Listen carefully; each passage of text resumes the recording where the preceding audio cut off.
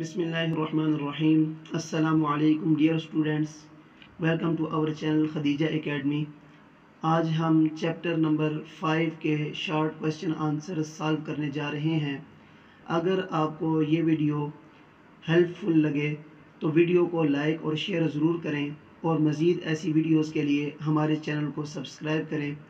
आइए शुरू करते हैं। Exercise number two write short answers Number 1. What is a transparent object? Write the name of three transparent objects. Answer. The objects through which light can pass completely are called transparent object.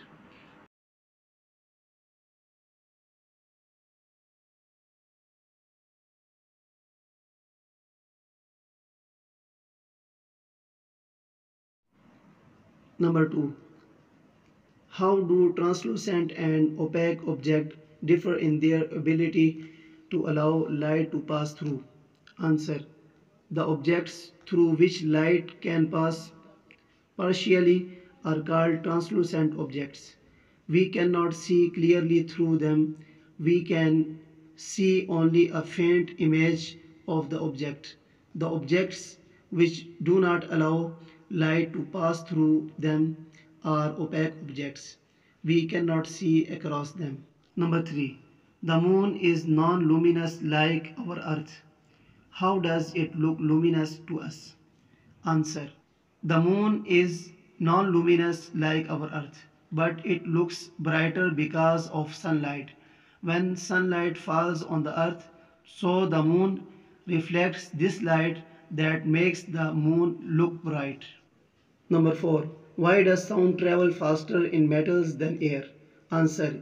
In solid objects, the particles are nearer to each other than they are in liquids and gases.